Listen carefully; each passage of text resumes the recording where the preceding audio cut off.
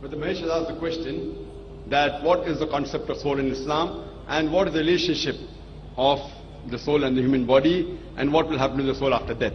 That's the basic question. That's correct. Uh, as far as the soul is concerned, the soul is the essence of the human body. The main importance as compared to the other creations of Allah subhanahu wa ta'ala, creation of Almighty God, the major difference in the human being, it is the soul. And it is the essence which will remain even after a person dies, which I'll discuss later on. As far as science is concerned, science does not speak about soul.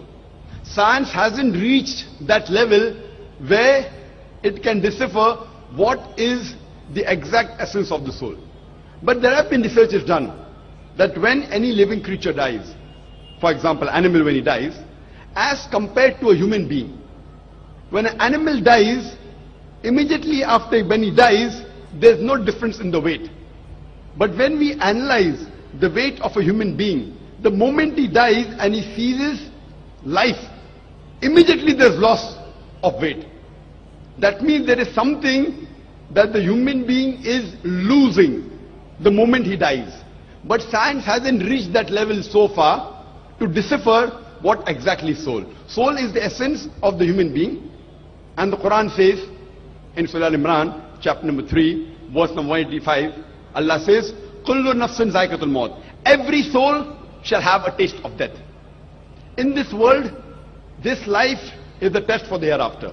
Allah says in the Quran in Surah Mulk, chapter number 67, verse number 2, Allazi khalaqal mauta wal hayata. That Allah has created death and life to test which of you is good in deeds. So this life is the test for the hereafter. And every soul shall have a taste of death. When once a person dies, his soul is not there. But on the day of judgment, when he'll be resurrected, then depending upon the good deeds and the bad deeds he has done, Almighty God, on the day of judgment, he is Malik Yawmiddin, he is the master of the day of judgment, depending upon how you have failed the test in this world. Depending on that, then your result will be whether you go to paradise or hell.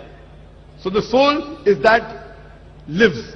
Soul doesn't die. It only has a taste of death when a person body lies. So the relationship with the body and soul put together, you have the human being here. But in the hereafter, there will be absolutely a new body given. And the soul will survive. And then depending upon how you have fed the test, you will go to heaven or hell. Hope that answers.